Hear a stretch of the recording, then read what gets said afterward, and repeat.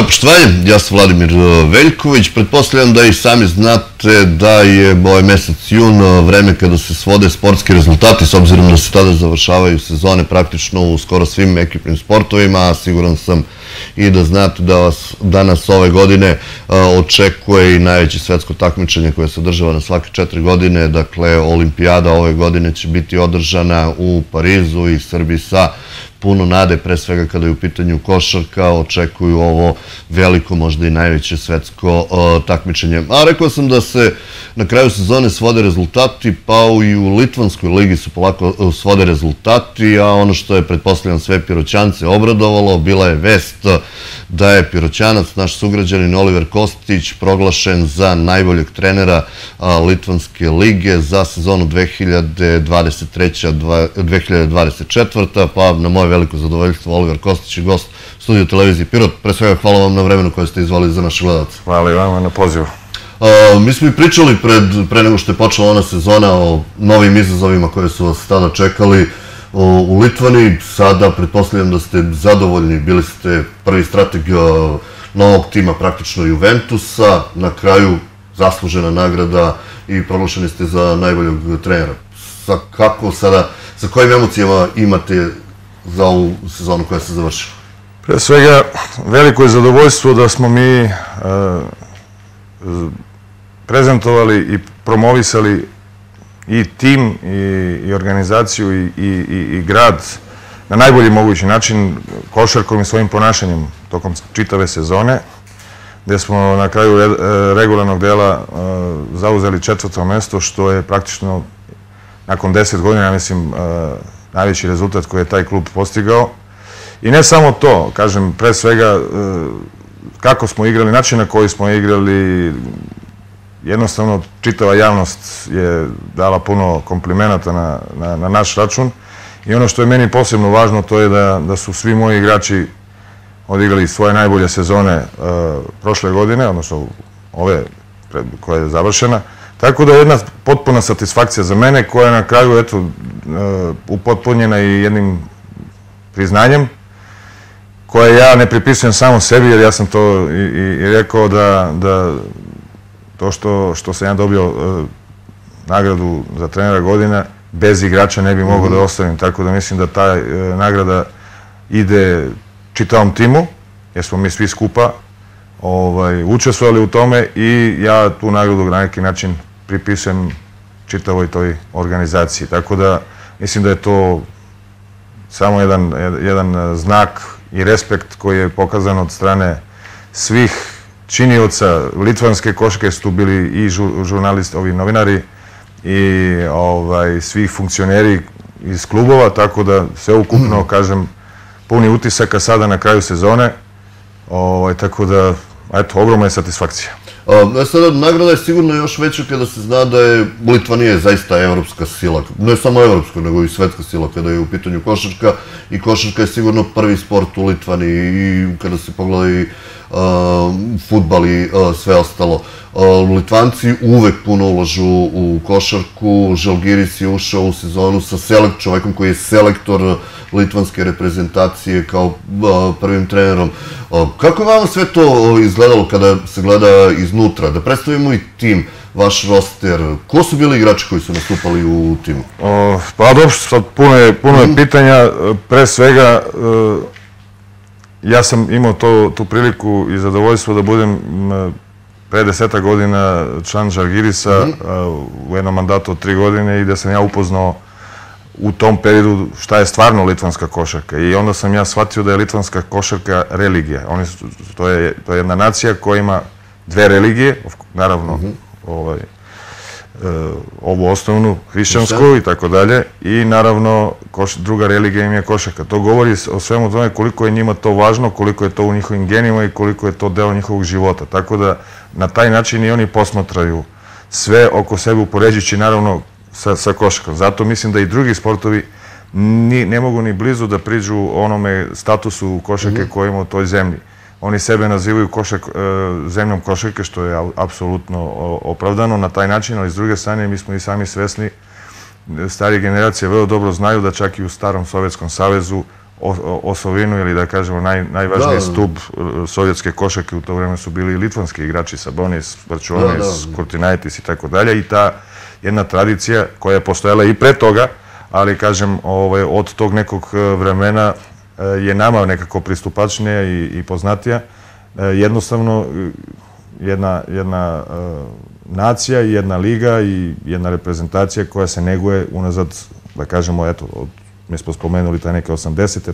pa nadalje gde su se i osamostalili, pa su ono do izražaja kompletno mm -hmm. došli i promovisali svoju, svoju sobstvenu košarku, naravno.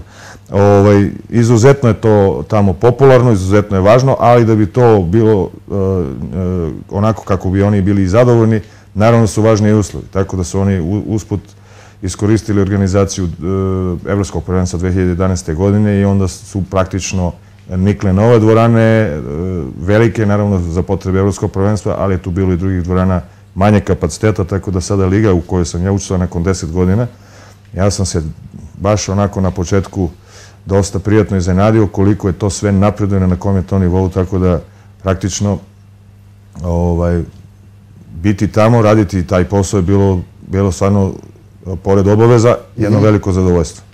Uh, Maskvitis Kazis, koji je trener reprezentacije Litvanije i sada i dalje mu je mhm. mandat u toku, je bio istovremeno tada i trener Žalgirisa. Mi smo imali taj dvoboj u mhm. četvrt finalu da, da.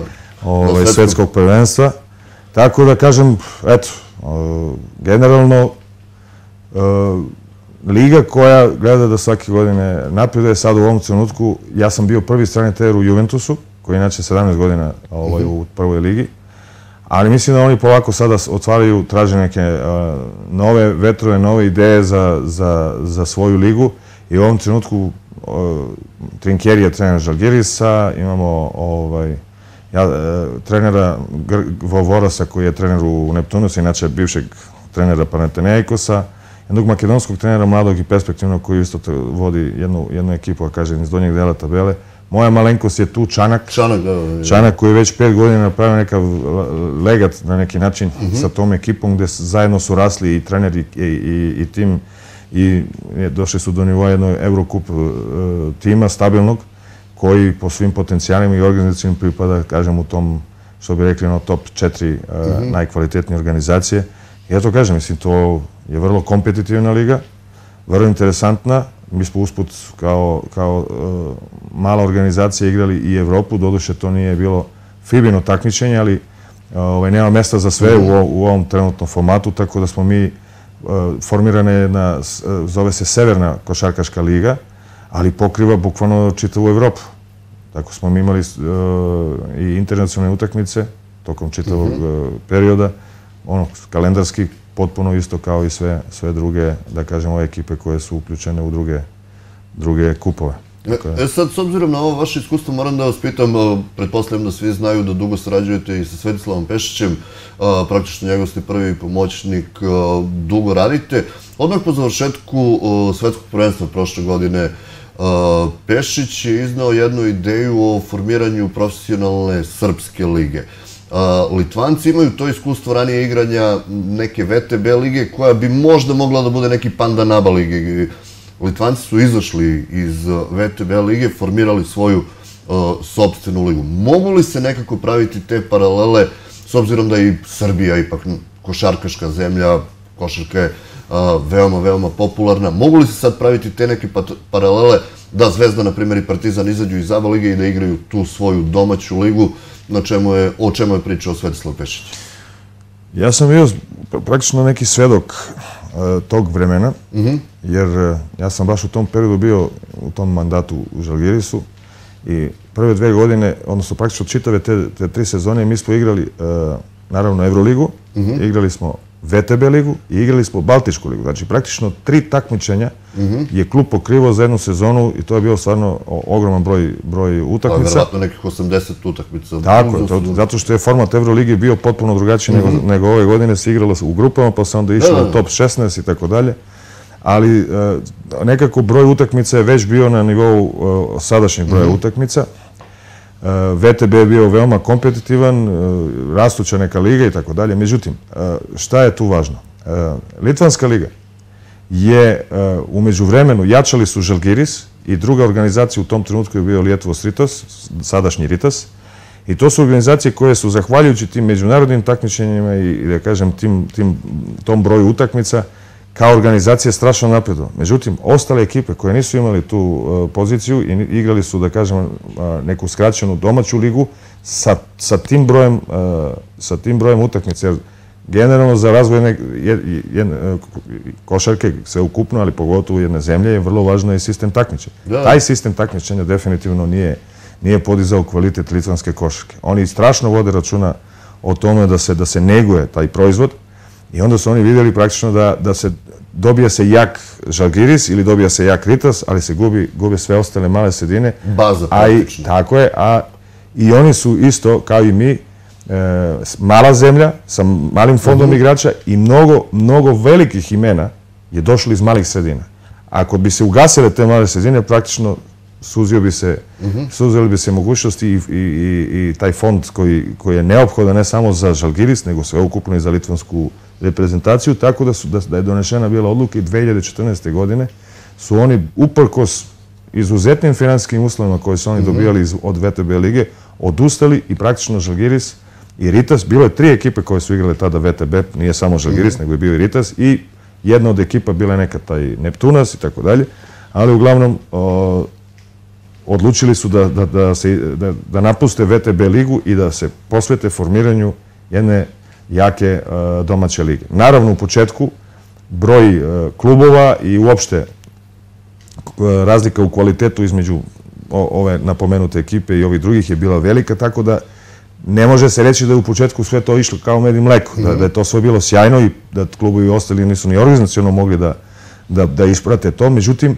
Liga je bila uporna. Iz godine u godinu menjali su i sistem takmičenja, prilagođavajući ga da, da jednostavno to zaživi I oni su sada došli, evo sada je, ja sam sve dok ove sezone, to je praktično 10 godina kasnije, to je vrhunski profesionalna liga, mm -hmm. sada od 12 ekipa, gde su, sve, gde su, gde su uh, već određeni standardi ko može igrati prvu ligu po pitanju i kapaciteta dvorane i da kažem da su to sve dvorane, ne samo ove velike koje su bile mm -hmm. za, još za potrebe evropskog prvenstva, nego su među vremenu i ove manje izgrađene koje su fenomenalnog sadržaja i mogućnosti da se, da se, da se praktično košarka tu razvija. Dalje da su ovaj, određeni minimumi za, za budžet koji je neophodan da bi se... Mhm. I gde, se, gde, se, gde postoji tak, takozvana i finansijska inspekcija, da li se to sve ispoštuje do kraja i tako da. Mislim, sve ukupno vrlo, vrlo profesionalna, e, vrlo kompetitivna liga i pokrivena naravno sa, sa, sa, e, kompletno sa televizijski pokrivena i medijski da na, mhm. na svaki drugi način. Tako da po kvalitetu vrlo, vrlo, da kažem, jedna rastuća liga Ja ne bih sad upoređivao sa drugim, ali to već... To ste da vas pitam, može li se upoređivati? Svi znamo za Špansku, ajde, da je najskuplja liga trenutno u Evropi. Kod Grka su interesantno samo praktično finale. Realno, znamo Tako. svi da će igrati Olimpijakos i Panathinaikos. Jeste bilo nekih pokušaja, ali ne, ne znam koliko već godina unazad Olimpijakos i Panathinaikos. Čak se i kod Turaka desila ista, otpali su praktično Daruša, Faka, Galata, Saraj, ostaju samo praktično Efes i Fenerbahče? Pa je, teško je upoređivati zato što su to i malo i drugačiji formati liga i tako da. Ja generalno da bi približio više našim, mm -hmm. da kažem, gledalcima, ja sam to na neki način najviše upoređivao sa našom ABA ligom. Mm -hmm. I mogu vam reći da je to, da je otprilike to, ne, to neko kvaliteta, ne, ne kvaliteta ABA lige, čak ove godine gledajući kakav je kvalitet bio i koliko je bio skoncentrisan u par ekipa koje su gore na vrhu, a da druge nisu bile tako e, kompetitivne. Mislim da je čak možda ove godine Litvanska liga bila za nijansu zbog balansa između, mhm. e, jer ABA liga ima Zvezdu i Partizan, to, to, to je da kažem, da su najbolje, najbolje ekipe. Tako dalje, naravno ima budućnost, ima Megu koji je izvanredna ove godine. Uvek CD koja nije bila u, u očekivanjima svih ali u, u, evo Ritas je osvojio prvenstvo. Mm -hmm. Pobedio je Žalgiris, znači to dokazuje koliko da, da. je ta... Imamo Volse koji su Eurokup, Letkabilis koji je Eurokup, ali ja sam vidio da i ove ostale ekipe su korak ili, ili uvek su, da kažem, kompetitivne sa, sa tim najvećima mm -hmm. i taj balans lige govori o tome koliko je ona kvalitetna, da nema velikih gepova, što bi rekli, ona razmaka između a, ovih na vrhu i ovih dole na, na, na začaju, tako da po meni to je otprilike, ako bi približio našim gledalcima, tu čak možda za nijansu uh, izbalansiranija liga u odnosu na, na ABA ligu. Tako da, izuzetno kvalitetna. Druga stvar, uh, veliki broj tih inter, internacionalaca koji dolaze su veoma kvalitetni igrači, što ukazuje rating, rating lige i sveokupno mislim da su oni uspjeli i, i vidim da su, da su veoma ponosni na proizvod koji već imaju, koji već postoji, ali evo tendencija tog uh, generalno napretka postoji ova godina je bila izvaredna, a mislim da će sljedeća biti još bolja, što znači to je jedan kontinuitet i jedan ogroman progres u, u, u ligi. I samo oko toga moram da vas pitam, kakav je status a, Košarkaškog saveza Litvanije? A, prvi čovjek Košarkaškog saveza je jedna od najvećih svetskih legendi, Sabonis, čovjek koji je zaista na neki način i redefinisao ulogu centra u jednom trenutku u Evropi, kasnije i u Portlandu odlično igrao. Kakav status ima njihov Košarkaški savez tamo u državi? Pa, mislim, to je veoma važan, veoma važna jedna karika uopšte u generalno stvari su karte su ono sve u, u, sve to podeljeno u, kako, kako, kako treba. Ovaj federacija Federacija je jedna organizacija koja brine o, o praktično o košarci. Mm -hmm. Liga je posebna organizacija, ali je konektovana sa, sa federacijom. Tako da ne kontroliše federacija ligu ili da, da, da je liga sama po sebi, ne. Svi imaju neku svoju autonomiju, naravno federacija kao federacija je kapak, ona, krov, krov mm -hmm. čitave košarkaške, košarke, košarke u, u, u Litvaniji. Liga je autonomna, ali naravno da se mnoge stvari uh, koje se unapređuju događaju uz dogovor, sugestije ili, da kažemo, razmatranje od strane svih činioca, delom, znači, naravno, iz federacije i iz lige. Kažem da, da, da je to jako dobro izbalansirano. Federacija, naravno, kao kažem, brine o opštim interesima, gde je prioritet, naravno, reprezentacija, ali reprezentacija neće biti ako liga nije dobro i ako nema igrača mm -hmm. za mhm. reprezentaciju. Tako misle da su to spojeni sudevi. Da, da. Tako da, ovaj, ta ne, neka razmena ide sasvim normalno bez bez ikakvog posebnog uticaja. Mm -hmm. Još samo da vas pitam nešto što je praktično možda i privatne prirode, ali e, glavna svetska vest e, dugo je bila rat između, sukob između Rusije i Ukrajine. E, Litvanija je bila takođe sastavni deo tog Sovjetskog saveza. Osjeća li se ta neka atmosfera da je tu negde u blizini jedan od najvećih, verovatno najveći sukob u Evropi posle drugog svetskog rata? Pričali su o tome uopšte? Pa, kako oni komentarišu sve to? Pa kako? Ovaj, Prvo, to je, oni, oni, oni daju ogromnu podršku Ukrajini. Mm -hmm. To nije prisutno samo u Litvaniji, ja sam bio i u Latviji i tamo je ono što, za dalje nisam sad da. imao prilike da nešto putujem na Baltiku, ali generalno mislim da su oni svi, što se kaže, na, na istoj stranici po tom pitanju. Oni su protiv, naravno, tog ratnog sukoba, uh, izabrali su stranu za koju oni smatraju da, da, da, da treba da daju podršku i oni to je stvarno izraženo svuda. Na svim mogućim manifestacijama su zastave sa parolama Slava Ukrajini, što mm praktično znači podrška i tako dalje. I generalno su oni, eto, na taj način definisi. Ne osjeća se ništa u zemlji, naravno zato što zemlja ne, ne da. živi svoj život i tako dalje, međutim oni na neki način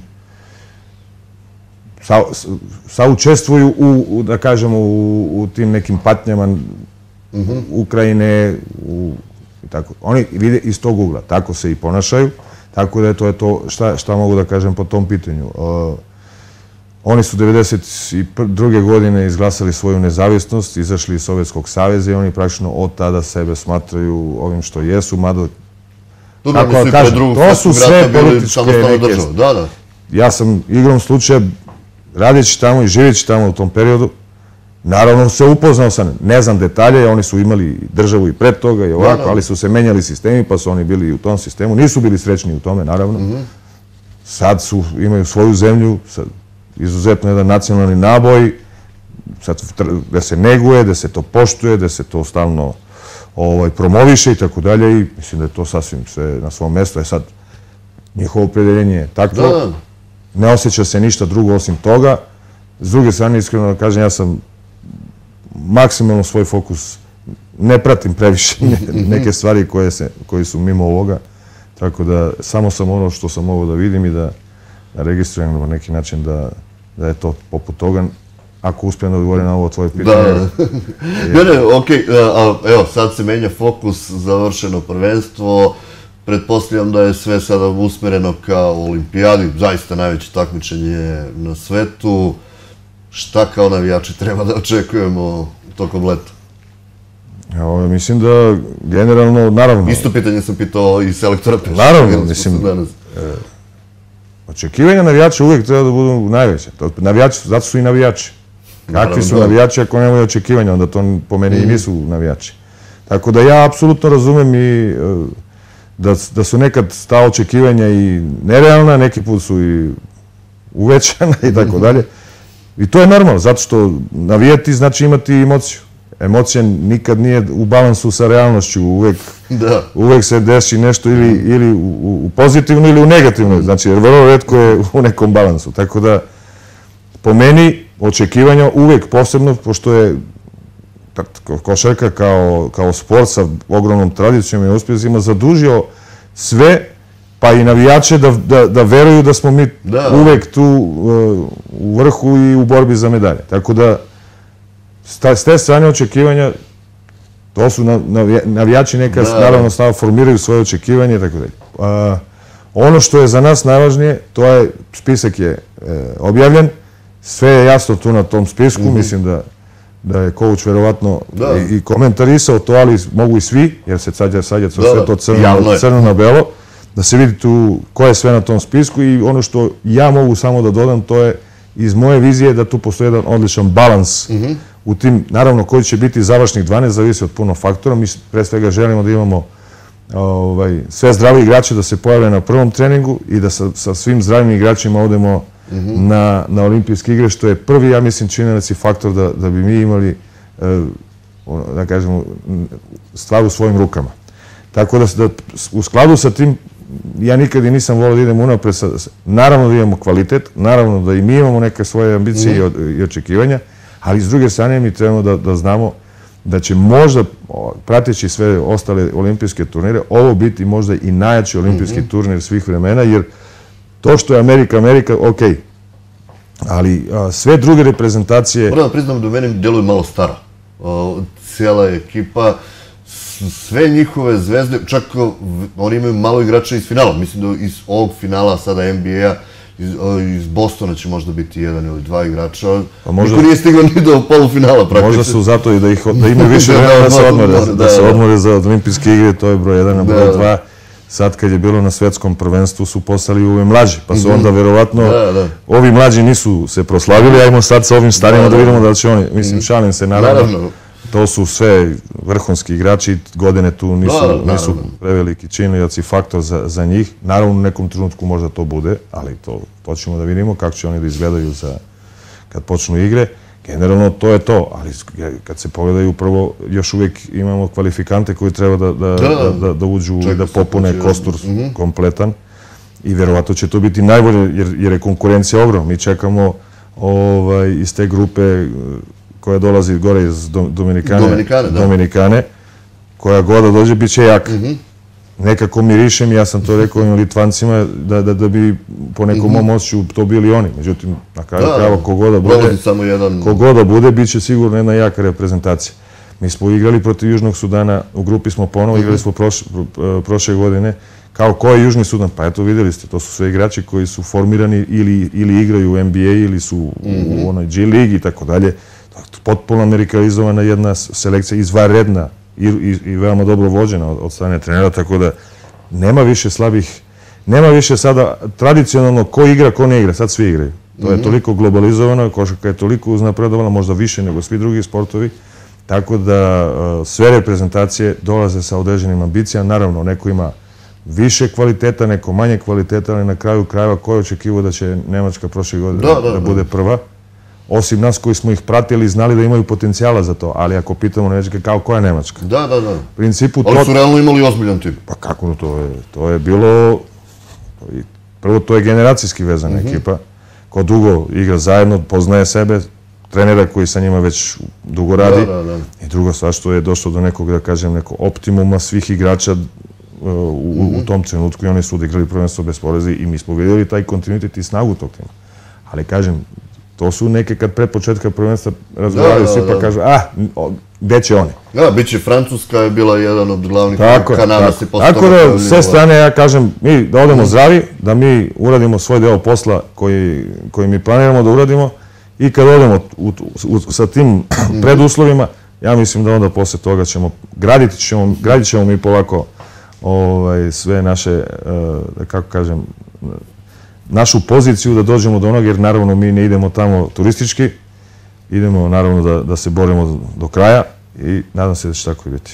Dobro, mi smo se na prošlom svetskom prvenstvu i dopisivali, pa da se zahvalim na slikama koje ste slali iz stručnog štaba za društvene mreže televizije Pirot, ali samo za kratko da vas vratim i na jednu neprijatnu situaciju. Svi pamte to. Koliko nešto što se desi sa igračem, kao što se desilo to sa Borišom Simanićem, zapravo poremeti ekipu? Vi ste bili tamo neposredni učenik, učesnik svega toga. Kako je to izgledalo u tom trenutku?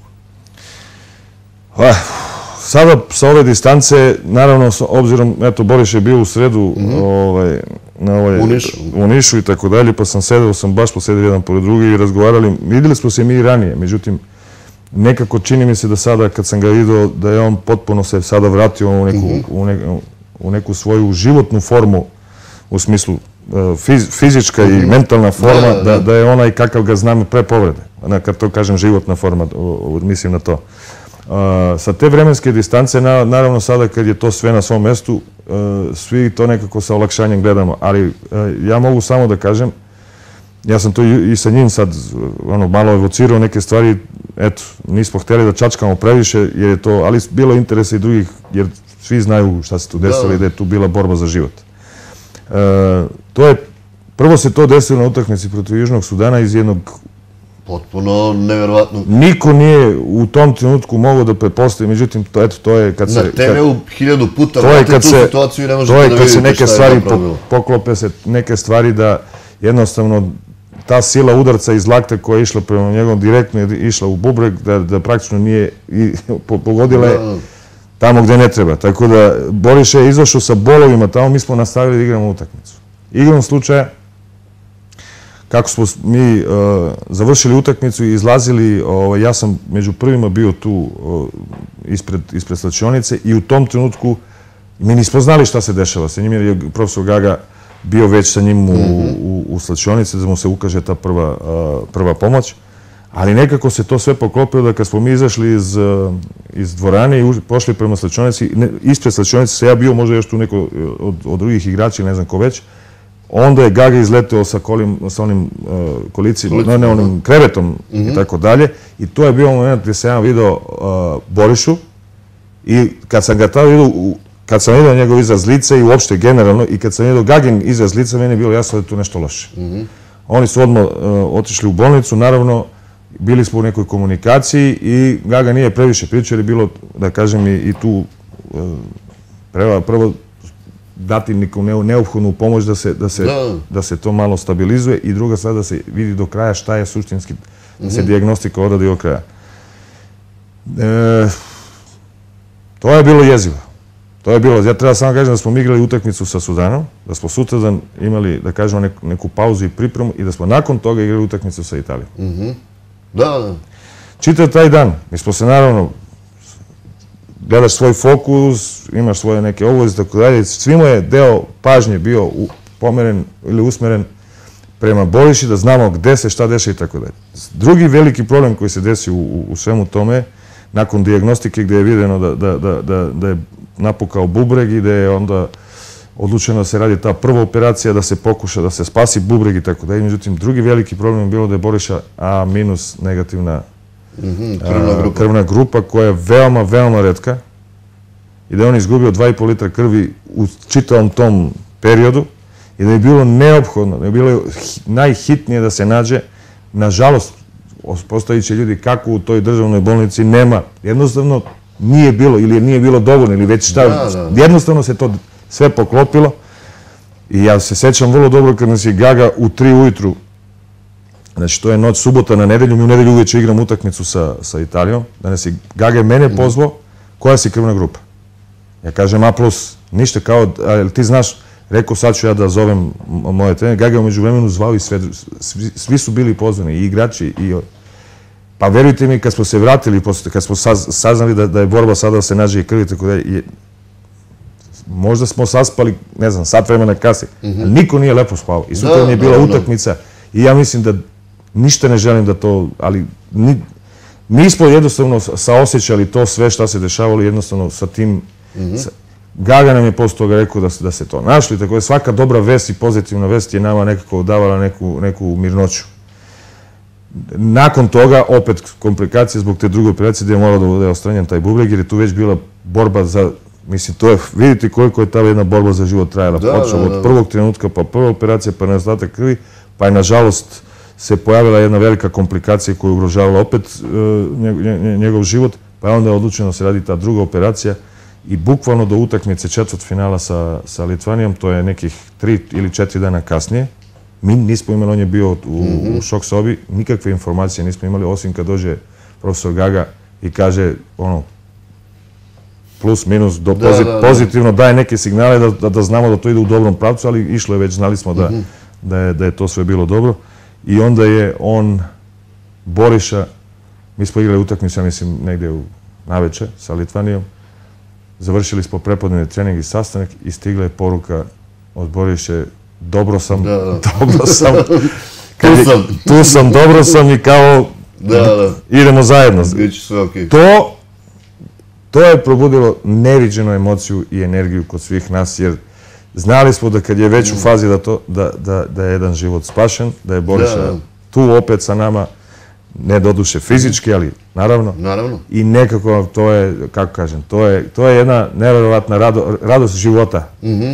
Ovaj, kod svih bila i, eto, to, ako sam uspeo malo nešto da, da ali generalno, to, to su strašne stvari. To su strašne stvari, to su, eto, nažalost, šta se desilo, jednom mladom da, momku kao što je, međutim, čovjeku. život je dalje, on je sada se kompletno oporavio od svega toga, organizam je potpuno sada, mislim, moguće naravno i živjeti i, i baviti se e, sportom i sa, sa jednim bubregom, potpuno je spreman i ovaj, najavio da će sad, sa, mi imamo uvodni deo ovaj, od ponedjeljka, da će biti sa nama, da će početi da radi, da trenira i mi se svi radujemo tome jer on je predivan momak. Dobro, da se mi okrenemo u budućnosti. S kojim rezultatom biste vi bili zadovoljni na olimpijadi? pa naravno. Kakvi bi vi bili sportisti i takmičari ako ne bi išli na... na... Da, da. A, mislim, svi sanjamo... Možda je bit doneo onaj maler uh, iz Filadelfije i... Svi sanjamo. Ja, ne, ja mislim da ne postoji neko, neko ko ne sanja da bi, da bi zlato bilo da, da. stvarno da. to, to bi bilo... Međutim, verujte mi da svaka medalja, svaka medalja je veliki uspjeh. Mm -hmm. Koliko će se razlikovati to da vas pitam, na svetskom prvenstvu bili ste sami, sada ste praktično deo olimpijskog tima Srbije, znači očekuje se da bude tamo i Novak Đoković, gomila drugih, Ivana Španović, dakle, najbolje ono što ova zemlja ima. Krem de la krem. Da, da, da. Pa, pa da, ali to, koliko to menja neki koncept prilikom svega? Ja nemam iskustva, mhm. ja nemam iskustva, ovo je prva moja olimpijada, ja sam prilično onako ovaj, baš i radozno i uzbuđen i mislim, gledali smo svi, pričali smo sa ljudima koji su već bili na olimpijskim igrama, tako da neku sliku o svemu. Međutim, svaka olimpijada i svaka organizacija nosi sama po sebi nešto, mhm. nešto svoje. E, sama smotra svih najboljih sportista na planeti i biti, i biti u deo, deo tog e, sportskog miljeja daje nek, nekakav poseban osjećaj i zadovoljstvo i privilegiju, naravno. To je broj jedan. Broj dva, život u olimpijskom selu koje je potpuno atipičan od svakog drugog svetskog prvenstva, gde su, su hotelski, da, da. da kažem, svi smešteni i imaju svoju organizaciju. To je nešto opet što je, što je posebno. Biti sa tim najvećim zvezdama i sa njima biti bukvalno u jednom običnom životu sportiste, mislim da je to veoma interesantno i mislim da će tu biti dosta nekih lepih trenutaka, događaja nekih i tako dalje. Mi smo već sa Novakom, sa Novakom smo već, već se družimo ovaj, duži, duži period. Novak, mi Novak osjećamo bukvalno kao člana naše, naše ekipe, jer je bio dosta, dosta da kažem, involviran u, u, u sve to i da, da, da je dosta i pomogao u jednom trenutku, posebno posle utakmice sa Grčkom. To su neverovatne stvari gde smo mi ovaj, proveli dosta vremena sa njim i gde je on nas ispratio i izbodrio do kraja.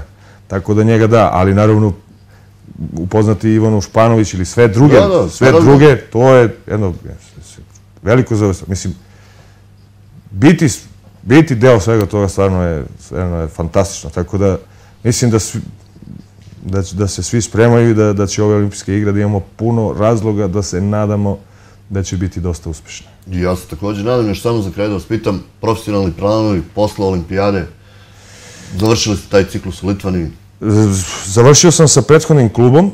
e, Završio sam sa prethodnim klubom. e, Jednostavno, e, ja sam još pre završetka video sam kako će otprilike e, sve to da ide, u kom pravcu i nekako sam još tada imao odluku u svojoj glavi da, da, da, da želim novi izazov. Tako da, bez obzira na veliki uspeh, bez obzira na, i na ponudu za produžetak, jednostavno sam rekao, ok, sve je to super, ali ja ipak, ipak imam potrebu za nekim novim izazovom. Tako da sam tu odluku doneo tada i uh, umeđu vremenu završilo su se sada praktično sva, sva, sva prvenstva u Europi, osim Nemačkog. Mhm, da. Ovaj, tako da, da je sada neka faza uh, pregovaranja, intervjua i tako, ono, kažemo, pravljanja nekih, neke planova i strategije za, za sledeću sezonu. Dobra godina i ovo priznanje koje je usledilo je na neki način ovaj, otvorilo mnoge mogućnosti.